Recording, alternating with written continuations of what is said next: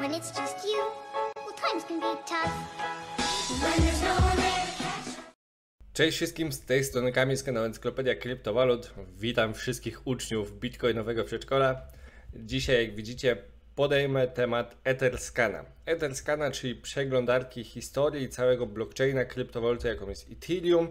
Oczywiście takie przeglądarki istnieją też w różnych innych sieciach, czy to chociażby w Tronie, czy to w Bitcoinie, ale o tym na koniec pokażę Wam, jak to w innych sieciach tam plus minus się rozgrywa, wszystko jest bardzo podobne, więc jeżeli skumacie temat tego na Etherscanie, gdzie tych tokenów jest najwięcej i najczęściej z tego korzystamy, no to myślę, że temat tamtych pozostałych explorerów też nie będzie dla Was ciężki. Więc dzisiejsze główne tematy odcinka to jak podglądać sąsiada, strategie gry na Etherscanie, sprawdzanie projektów, no i jak to działa właśnie na innych sieciach. Na koniec malutkie zadanie domowe, jeżeli nie zapomnę, jeżeli czasu nam starczy, jeżeli dzwonek nie zadzwoni, no to oczywiście takie zadanie dostaniecie. Dobra, przejdźmy sobie do pierwszego, pierwszego ekranu. Jest to oczywiście CoinGecko. Rzućmy tylko okiem. Bitcoin 16 tysięcy ponownie przebił. Ethereum 460, najwięksi gainersi tak zwani, czyli te kryptowaluty, które najwięcej zyskują. Sushi 33%, Torchain 22, Aave 18,5. No i Uniswap przebił 4 dolary. No, całkiem, całkiem ładnie mu to idzie. Ampel Fund 5% w dół, Celsius 4% w dół. No i to by było tak naprawdę tyle. Yy, Jeżeli ktoś nie widział pierwszego odcinka, albo później będzie to oglądał z czasem funkcjonowanie tej serii, to oczywiście na kanale jest taka playlista Bitcoinowe Przedszkole, seria dla początkujących i tutaj te wszystkie odcinki będą zawsze dodawane, więc możecie sobie to puścić po prostu w ciągu, jeżeli to na przykład jest odcinek jakiś inny, który już oglądaliście, a tego przegapiliście, no to pamiętajcie, że macie tutaj taką serię. Jeszcze taka jedna ciekawostka. Wczoraj na kanale Plot11 został dodany film dokumentalny o kryptowalutach, głównie o, bit- o Bitcoinie. Pojawił się tam też wątek Bitcoin Casha i Rogera Vera. Także hmm, no, ktoś jest nowy, ok, zobaczcie sobie ten film. Ja go obejrzałem wczoraj. Jakąś część tego filmu sobie przesunąłem dalej, bo dla mnie to nie było nic ciekawego. Historia powstania Bitcoina, Bitcoin wykorzystywany w Silk Road, czyli sprzedaż y, narkotyków, nie wiem, handel ludźmi za Bitcoina i tak dalej. Także no, temat, który ja już znam, wałkowałem, o przepraszam, wałkowałem niejednokrotnie, także dla mnie to jest nic nowego, ale jeżeli ktoś nie zna historii Bitcoina, powstawania tego wszystkiego, na przykład górników w Wenezueli, górników w Argentynie, no to oczywiście zerknijcie sobie na ten materiał. Dobra, przechodzimy do, głównej, do głównego meritum dzisiejszego filmu, łyczek kawy, bo jest wczesna godzina w niedzielę, kiedy ja to nagrywam, więc etherscan.io. Co to jest?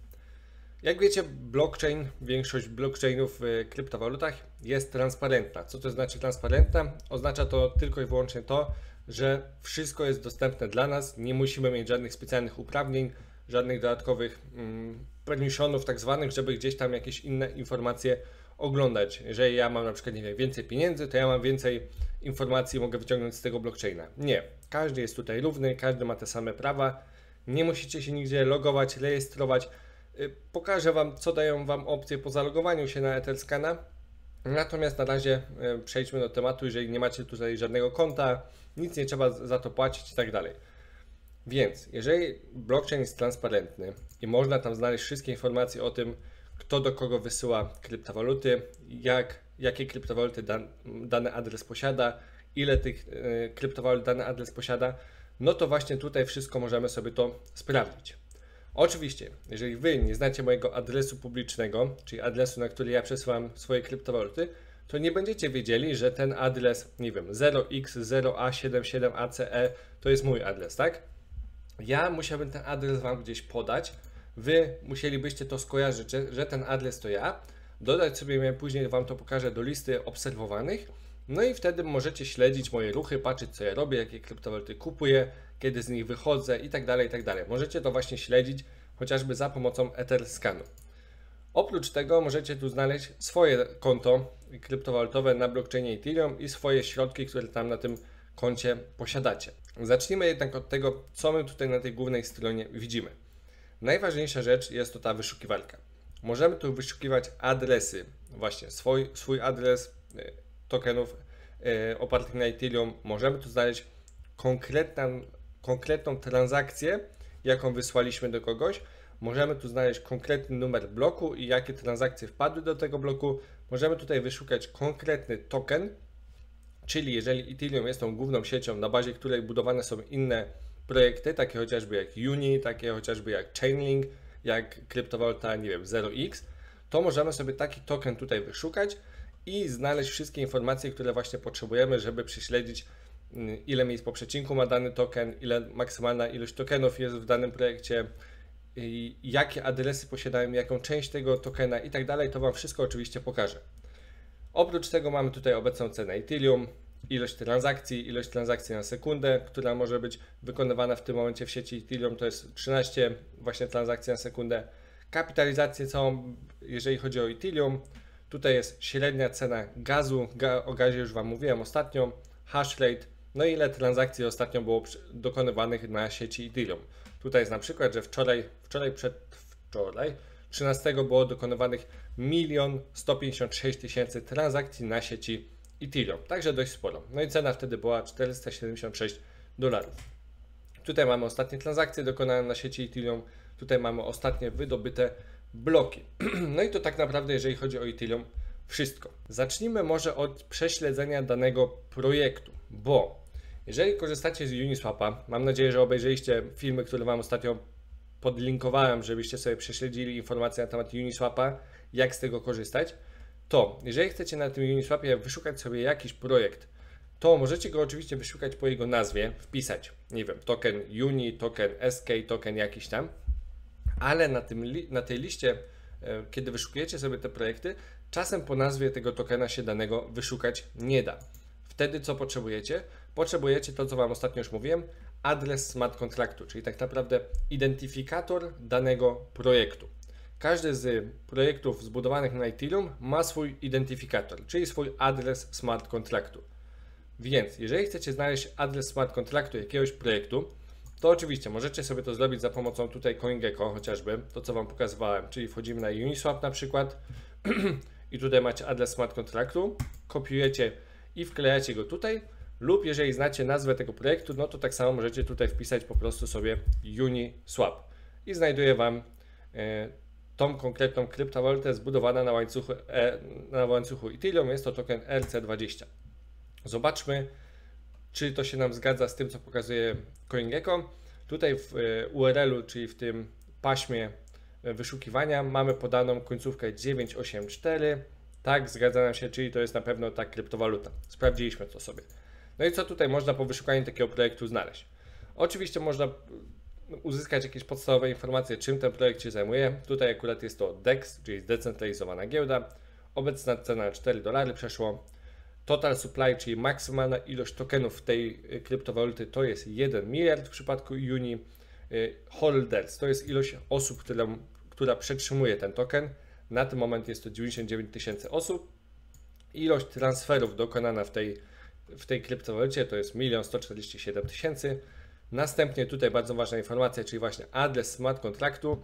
E, tą daną sobie kopiujecie i wyszukujecie na przykład na Uniswapie. Jeżeli po nazwie Wam nie chce wyszukać, ilość miejsc po przecinku w tej kryptowalucie, oficjalna strona tej kryptowaluty, nie zawsze to jest podane, o tym pamiętajcie.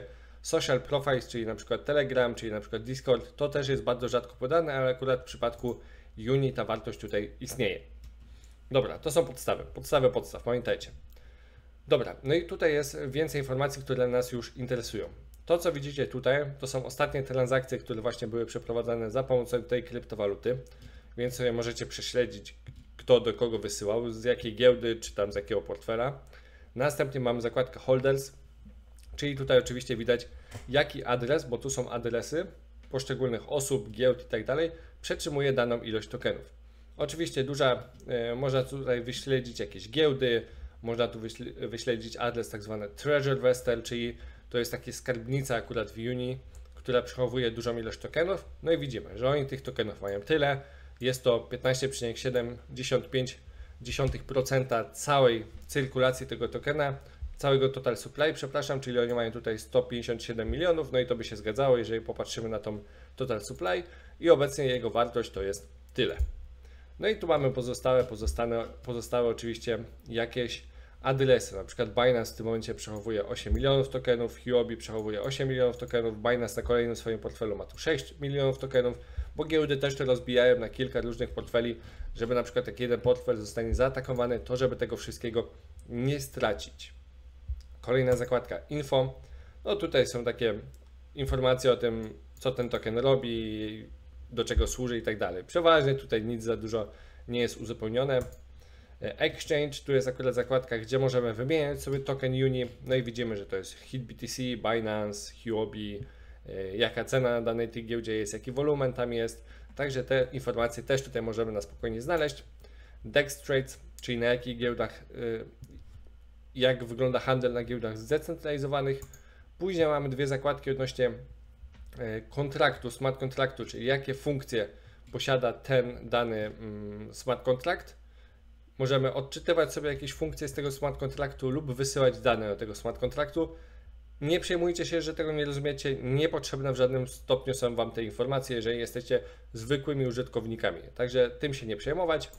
Tutaj są jakieś analityki, jeżeli chodzi o transfery, e, transfery wychodzące, wchodzące, unikalni odbiorcy, wartość jaka była transferowana na tej kryptowalucie. Także tego tutaj można oczywiście to e, poczytać jako ciekawostkę, ale no, nie daje nam to zbyt dużych informacji. I zakładka comments, no tutaj można zostawić z tego co wiem jakoś komentarz odnośnie, odnośnie tej kryptowaluty, ale raczej też nic ciekawego. Jeżeli przejdziemy sobie tutaj na smart contract, to zostaniemy prze, e, przerzuceni do tak naprawdę tego portfela tej, tej kryptowaluty, bo taki smart contract też jest w jakiś sposób portfelem. I tak samo na tym portfelu mogą być przechowywane inne kryptowaluty. To znaczy, ktoś mógł nam wysłać na nasz adres jakieś inne kryptowaluty. I wy, wyszukując swój portfel, ja wam to jeszcze później pokażę, możecie tam mieć dużo różnych kryptowalut, oczywiście, bo to trzeba zaznaczyć, może powinien to na początku powiedzieć, że jeżeli macie swój adres na Ethereum, jakiś tam 0x, coś tam, coś tam, to jeżeli chcecie podać komuś adres do wysłania wam tokenów Uni, to podajecie adres do wysyłania tak naprawdę Ethereum. Wasz adres, który macie, Ethereum, odpowiada za wszystkie tokeny, które są zbudowane na Ethereum. Więc jeżeli, mm, tak jak mówię, ktoś Wam chce wysłać 100 tokenów Uni, to Wy mu podajecie adres Ethereum. I sieć Ethereum sama sobie poradzi z tym, żeby to Wam osobno odseparować, że, że tak powiem, na portfelu i żebyście widzieli, tutaj macie jedno Ethereum, a tu macie 100 tokenów Uni. Także jak y, dostawałem takie informacji sporo, znaczy takie pytań sporo, Kamil, a gdzie ja mam token, gdzie mam adres portfela Uni, gdzie mam adres portfela Chainlink? Ja mówię, no to jest ten sam portfel, który macie, y, który podajecie, jeżeli wysyłacie Ethereum. Także y, to jest taka ważna informacja, którą trzeba zaznaczyć. I jeżeli właśnie na tym swoim adresie danym macie wiele różnych kryptowalut, to klikacie sobie tą ształeczkę tutaj i wyświetlają Wam się tokeny, które właśnie macie na tym adresie. Tu jest jakaś E, ktoś wysłał akurat tutaj im jeden token Chainlinka, wysłał im tu ktoś jakieś Unifi, Celsiusza, im ktoś wysłał Ethelanda, no różne, różne kryptowaluty ktoś im powysyłał na, tym, na ten portfel, no i, no i tam już będą, że tak powiem, bo oni raczej z tego wypłacać nie mają zamiaru. Chociaż mają taką możliwość, ale raczej z tego wypłacać nie będą.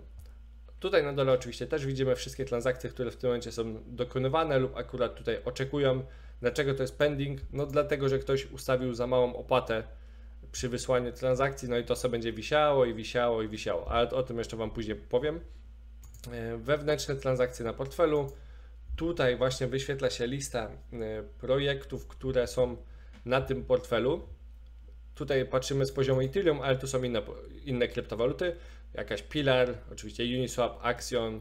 No dużo kryptowalut wpadało i wychodziło z tego adresu tokeny RC721, czyli tokeny NFT, czyli te unikalne tokeny, też one są tutaj.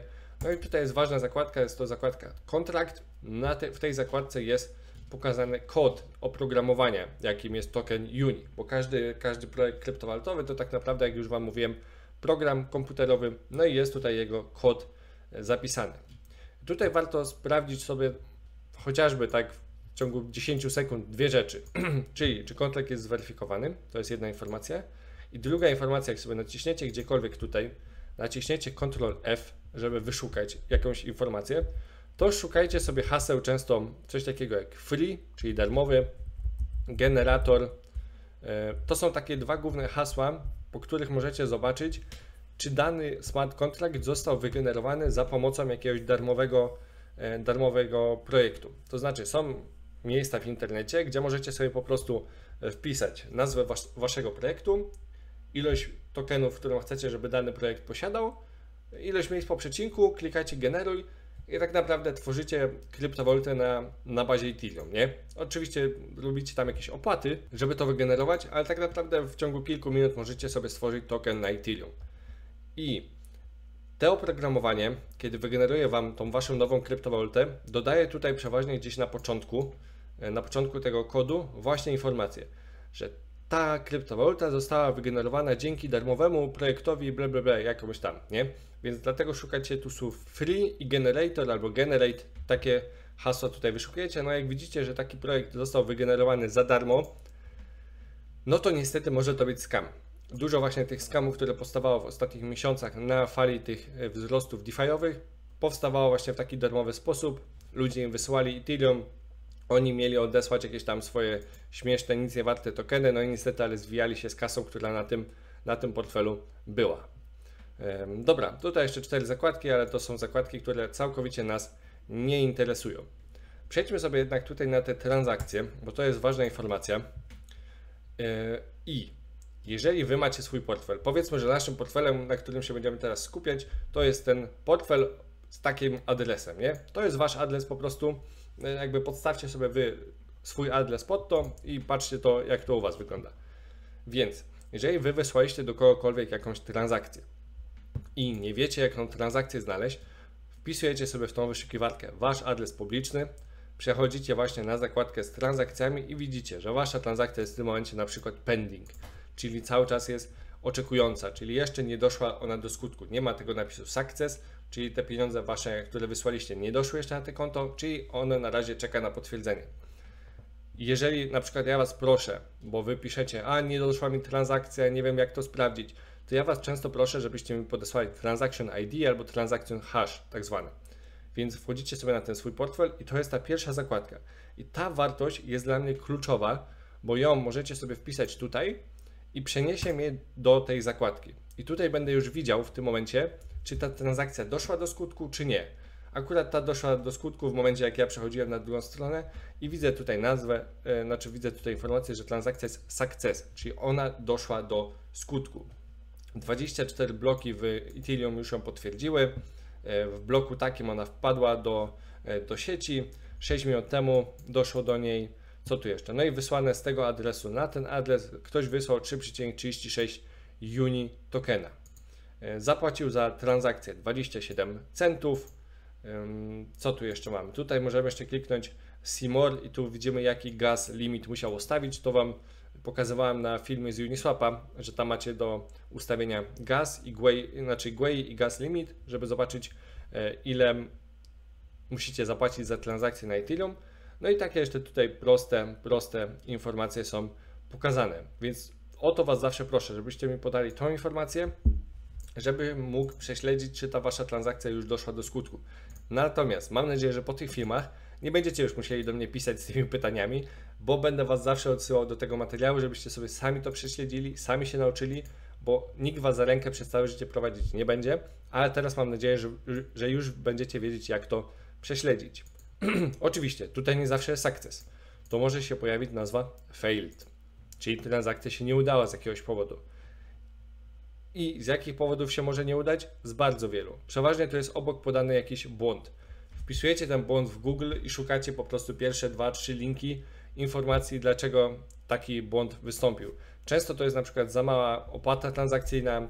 E, jeżeli handlujecie na, na Uniswapie, no to może być tak zwany price slippage, czyli e, Wy chcieliście dokonać danej transakcji, ale jeżeli cena nie zmieni się podczas tej transakcji więcej o 1%, jeżeli nagle ktoś kupił za dużą ilość pieniędzy dany token, który Wy chcecie kupić i cena się zmieniła o 5% w międzyczasie, no to transakcja zostanie Wam już tu odrzucona z komunikatem failed, że właśnie ten price slippage został przekroczony i niestety ale do tej transakcji nie doszło, bo cena tej kryptowaluty, którą chcieliście kupić, nie była na takim poziomie, po jakiej wy ją chcieliście kupić, bo jakiś drań kupił ją za większą kasę i podbił cenę, tak? A was już nie interesuje, żeby kupić ją po wyższej cenie, wy chcieliście ją kupić po tamtej cenie, którą widzieliście w danym momencie na Uniswapie. Więc tych błędów, które Wam tu się mogą wyświetlić, jest dużo, ale tak jak mówię, przeważnie jak wklepiecie w Google, to Wam znajdą się te informacje.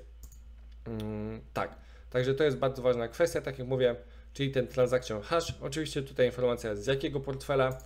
Tutaj możemy sobie prześledzić, że to, to jakiś gostek wysłał z portfela. On na swoim portfelu ma jakieś tam inne kryptowaluty. Tutaj możemy sobie podejrzeć.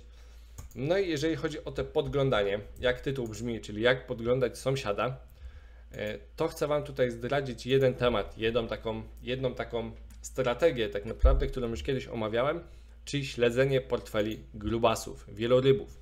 Tych portfeli, które, ma, które mają dużo kasy, to po pierwsze, ale bardziej nas tu interesuje kwestia tego, kiedy oni w dany projekt wchodzili. Bo jeżeli dany grubas wszedł w jakiś projekt X w czasie, kiedy ten projekt był warty e, blisko tego, co jest teraz, blisko tych szczytów swoich powiedzmy, no to nie jest on żadnym grubasem. On po prostu miał kasę, wszedł w jakiś projekt i tak naprawdę jego wejście było słabe. Nas interesuje bardziej taki grubas, który wszedł w daną kryptowalutę, kiedy ona była bardzo, bardzo nisko, przeczekał pół roku, rok czasu i ta kryptowaluta jest teraz wysoko.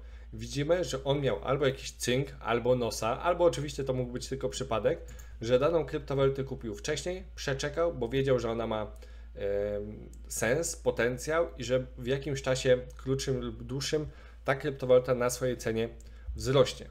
Jak takiej oczywiście mm, kryptowalut szukać? No nie wiem, wyszukujemy sobie projekt, jakiś projekt na Uniswapie, który jest dłuższy czas. Nie wiem, jest taki projekt 0x na przykład, tak? Mm, nie tak, wyszukujmy sobie go tutaj. Mm, adresy, nie chcemy adresów, chcemy wyszukać tu. Ekosystem. Nas interesuje token. O, tutaj widzicie, nas interesuje ten token. To token ZLX. Wchodzimy na jego kontrakt, adres. Wchodzimy sobie tutaj na token tracker i przechodzimy na zakładkę holders. No i oczywiście tutaj znowu musimy prześledzić sobie osoby, które przetrzymują ten token. Od razu odrzucamy, tak jak Wam mówiłem, giełdy, e, jakieś zdecentralizowane wymiany, jakieś tutaj compoundy, MakerDAO i tak dalej, wszystkie te takie protokoły do pożyczania tych tokenów, bo to nas interes nie interesuje. Interesuje nas interesują nas oczywiście adresy takie zwykłe, że tak powiem, nie pooznaczane przez sieć w żaden sposób. No i niestety, ale to jest taka żmudna praca, bo musimy sobie wejść na taki adres, wejść, zobaczyć jaki, on jest, jaki tu ma balans, tak? Ma milion siedemset tysięcy tych tokenów i trzeba zobaczyć, kiedy on te tokeny kupował. On te tokeny kupował tutaj 730 dni temu, 800 dni temu, E, Team Vesting, a nie, to jest chyba, to jest prawdopodobnie pracownik tego projektu. No czyli od razu odrzucamy sobie ten, ten adres, no bo to jest prawdopodobnie pracownik. Wchodzimy dalej, nie wiem, tutaj. Strzelam, że tak powiem, nie? Mhm. Ok, ta osoba ma milion 400 tysięcy tych tokenów. Wchodzimy sobie na ostatnią zakładkę. Dobra, on tutaj z Binance'a sobie kupował 470 dni temu tu kupił 100 tokenów, tu kupił milion tokenów i tu jeszcze dokupił 500 tysięcy tych tokenów. Czyli widać, że on już bardzo wcześnie kupował ten token. Prześledźmy sobie datę. 463 dni temu to był 10 e, sierpnia zeszłego roku. Ok, więc wchodzimy sobie na, na CoinGecko, wyszukujemy projekt 0x. Tak. I wchodzimy sobie na 10 sierpnia. Zobaczymy, co to jest 10 sierpnia, jak cena się wtedy kształtowała. 10 sierpnia zeszłego roku. Tu. No to widać, że to był fajny dołek, tak? Jak tak popatrzymy historycznie, to to był naprawdę mocny, mocny dołek. Po 16 centów on kupował tą kryptowalutę, w tym momencie jest 37 centów. Oczywiście kryptowaluta ma, e, była już po wyższej cenie, więc szukamy raczej jakichś takich kryptowalut, takich jak na przykład chociażby Chainlink. Chainlink, kiedy przez 2-3 lata nic się z nim nie działo, i nagle urósł bardzo dużo. Więc może prześledźmy sobie, ale dobra, zostajemy przy tym 0x, więc widać, że ta osoba e, kupiła, kupiła ten token dawno, przetrzymała, dokonywała oczywiście jakichś tutaj transakcji, ale przetrzymała przez długi czas. No i może warto taką osobę śledzić sobie w tym temacie i podglądać jego ruchy, jakich transakcji on tutaj dokonuje na tym swoim portfelu. Tutaj jest właśnie wyfiltrowany, wyfiltrowany ten osobnik konkretny, więc możemy wejść tu na jego portfel i zobaczyć, jakie inne kryptowaluty ta osoba też posiada. Wchodzimy sobie na tą zakładkę, widać, że posiada wow, 100 tysięcy chainlinków. 100 tysięcy chainlinków. Ciekawe, kiedy on tego chainlinka kupował. Przejdźmy sobie właśnie tutaj na tą zakładkę. On chainlinka kupował, zobaczcie, 254 dni temu kupował go 5 marca. Wiecie co wtedy było? Sam, sam dołeczek. Kurde, no chyba znaleźliśmy gościa, którego naprawdę warto śledzić. Przypadkiem całkowicie, przecież nie przygotowywałem tego, bo teraz klikam to. Ok, 5 marca. Mm, prześledźmy sobie ostatni rok. No, tutaj akurat kupił powiedzmy na malutkiej góreczce. Y, natomiast, no, patrząc na ten wzrost, no to 400% od tego czasu. Oczywiście to był okres, kiedy, kiedy kryptowaluty spadały przez, przez covid i tak dalej, ale kupił to w dość dobrym ogólnie momencie, więc może znaleźliśmy osobnika jakiegoś, którego warto sobie tutaj śledzić. Zobaczmy, co on jeszcze to ma. Uniswapa ma, e, tutaj jakiś Afrodex, ale to jakieś chyba nie wyszło bo milion tokenów jest warte 5 centów. Dobra, ale powiedzmy, że znaleźliśmy osobę, którą chcemy w tym momencie śledzić, tak? Której ruchy chcemy e, gdzieś tam śledzić, natomiast nie będziemy sprawdzali codziennie informacji o tym, czy on kupił jakąś kryptowalutę, czy nie kupił jakąś kryptowalutę, my możemy sobie dodać taką osobę do tak zwanej watch listy, czyli do listy obserwowanych adresów. W tym momencie musimy na Etherscanie założyć sobie portfel. Podajemy tu po prostu maila, hasło ustawiamy i tyle. Ja mam akurat swoje konto e-kryptowalut, jak widzicie, więc klikam sobie tutaj i kopiuję adres tego grubasa. Jak już się zarejestrujecie i zalogujecie, wchodzicie do tak zwanej watch listy, tu, jest to lista obserwowanych projektów. Ja tu mam akurat dodane jakieś dwa, dwóch grubasów, nazwałem tego jednego Whale 1, drugiego Whale 2. To akurat na, na, że tak powiem, e, moment kręcenia tego materiału.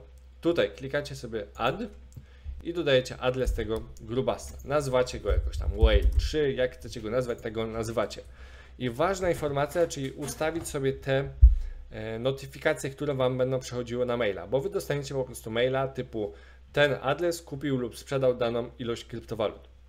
Więc ustawiacie, czy w ogóle nie chcecie notyfikacji i chcecie go dodać sobie tylko do tej listy obserwowanych i ręcznie to sprawdzać, czy ustawiacie sobie, żeby pokazywało Wam wchodzące i wychodzące transakcje z jego portfela, czy tylko przychodzące, czy tylko wychodzące. E, najlepiej oczywiście ustawić sobie te przychodzące, jeżeli oczekujecie, że on coś fajnego kupi. Jeżeli wy macie jakiś token, na przykład, który on też posiada i interesuje Was to, kiedy taki grupa, gruba zacznie upłynniać te tokeny, wtedy przeważnie jest to dla Was informacja o tym, że jeżeli gruba zaczyna sprzedawać ten token, to znaczy, że wie coś, że ten token chwilowo mógł osiągnąć szczyt, on inkasuje zyski i przechodzi z kapitałem gdzieś dalej. Więc może warto się wtedy zastanowić, żeby też wyjść z kapitałem właśnie z tego e, tokena. Więc najlepiej, jeżeli sobie tak obserwujecie daną osobę, ustawić przychodzące i wychodzące transakcje i najważniejsza rzecz, zaznaczyć tą opcję. Czyli y, samo zaznaczenie tej pierwszej opcji będzie, wam, będzie Was informowało o transakcjach na Ethereum czyli głównej tej kryptowaluty. Natomiast jak ustawicie sobie to, to będzie Was informowało o wszystkich tokenach ERC20, czyli właśnie o Chainlinku, czyli o Uniswapie, czyli o wszystkich innych perełkach, świeżynkach, które dopiero gdzieś tam wchodzą i w które taka osoba mogła się zapakować. Jak klikniecie Continue, no to właśnie taki gracz został dodany do, e, do Waszej watchlisty. Za darmo możecie mieć 25 E, takich obserwujących. Da się tu jakoś wykupić wersję premium, żebyście tych obserwujących mieli wiele, wiele więcej, ale myślę, że i tak nie ma sensu obserwować więcej niż 10, 15, 20 osób, bo nie będziecie w stanie tego ręcznie później i tak śledzić i, i wiecie, będziecie dostawali tylko spam na, na waszego maila, a tak naprawdę nic z tego wynieść nie będziecie mogli. Więc jest tu informacja, że właśnie będę dostawał maile. Tutaj wyłączyłem notyfikacje, wyłączyłem notyfikacje. Możecie oczywiście sobie edytować te opcje, które wy chcecie, żeby wam E, wysyłało Etherscan, ale to jest główna rzecz, z której radzę Wam korzystać, jeżeli chodzi o Etherscana, czyli śledzenie tych portfeli tych grubasów. Co tu jeszcze Wam chciałem pokazać? Chyba na Etherscanie tak naprawdę to jest wszystko, co potrzebujecie wiedzieć, czyli wpisujecie tutaj adres swojego portfela, patrzycie, dlaczego Wasza transakcja na przykład nie doszła do skutku lub doszła do skutku, jakie tokeny macie, w jakiej ilości, sprawdzacie sobie tutaj adres smart kontraktu danego projektu, wyszukujecie dany projekt, sprawdzacie kto przetrzymuje te tokeny, ile tych tokenów jest. Wszystkie te informacje właśnie możecie sobie znaleźć tutaj, e, plus jakieś tam ogólnie statystyki odnośnie właśnie Ether skanu. Przejdźmy jeszcze tylko na sekundkę dosłownie, bo to wszystko, co Wam pokazałem na Ethereum, jest praktycznie jeden do jednego odzorowane oczywiście na e, chociażby Tronskanie. Tronscan jest to taki Etherscan, a dla projektów zbudowanych na sieci Trona. Oczywiście z tego będziecie pewnie rzadziej korzystać, no chyba, że jesteście fanami tutaj tokenu Tron i, i tych projektów zbudowanych na Tronie, ale wygląda to wszystko bardzo podobnie. Czyli też macie tą wyszukiwarkę tutaj, gdzie możecie wpisać swój adres portfela lub konkretną transakcję, lub jakiś token, lub jakiś blok. Tak samo są tu ostatnie transakcje, ostatnie bloki, jakieś pozostałe statystyki. No dobrze wiecie, że Justin Sun bardzo lubi kopiować wszystko od Ethereum, więc to naprawdę wygląda bardzo podobnie. Tak samo możecie się tu zalogować, tak samo są podobne opcje, które, które w Etherscanie. Natomiast jeżeli chodzi o Bitcoina, wygląda to troszkę, troszkę inaczej, no bo na Bitcoinie nie są budowane inne kryptowaluty. Więc tutaj możecie sprawdzić tak naprawdę swój adres, jakie transakcje wychodziły z waszego adresu, jakie transakcje wchodziły na wasz adres jakieś statystyki odnośnie sieci Bitcoina, ale nie możecie sobie tu sprawdzić i szczytywać jakichś innych projektów i tak dalej, no bo na Bitcoinie się kryptowalut w tym momencie, przynajmniej, przy, przynajmniej w tym momencie, to zaznaczam, nie buduje, więc akurat jeżeli chodzi o Bitcoina, no to wygląda to troszkę inaczej. No i w Bitcoinie, jak wpiszecie swój adres tutaj, to on Wam wyświetli, czy chcecie, żeby Wam pokazał transakcje, które wchodziły na Wasz adres Bitcoina, czy Bitcoin Casha, czy jakiegoś innego Bitcoina, które były sforkowane akurat z Bitcoina i do których dostęp możecie mieć. Dobra, także myślę, że w Etherscanie to już by było na tyle. W tym materiale tak samo. Dajcie znać, czy macie jeszcze tutaj jakieś pytania odnośnie, odnośnie właśnie Etherscana. Jeżeli tak, to spróbuję to w jakimś zwykłym materiale douzupełnić ten temat. Jeżeli macie jakieś yy, propozycje odnośnie następnych materiałów w Bitcoinowym przedszkolu w tej naszej serii, no to oczywiście zachęcam do pisania komentarzy. Ostatnio tych komentarzy zostawiliście mnóstwo, także mega się z tego cieszę.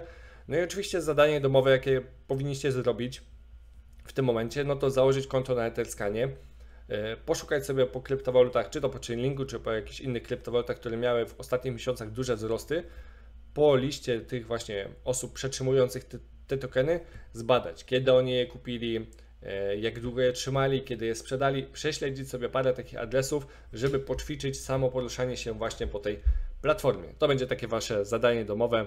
Myślę, że nie jest ciężkie, ale na pewno trochę czasochłonne, no bo kryptowaluty, jeżeli chcemy to robić na wyższym poziomie, na bardziej zaawansowanym, są po prostu czasochłonne i trzeba z tego przedszkola kiedyś wyjść w końcu. Ale nie mówię, że to już będzie za tydzień czy za dwa tygodnie, bo jeszcze tematów na pewno do obgadania mamy trochę. Dobra, także w tym materiale to już by było na tyle. Zostawcie łapkę w górę, subskrypcję, jeżeli jeszcze tego nie robicie i widzimy się w kolejnych materiałach na kanale. Cześć!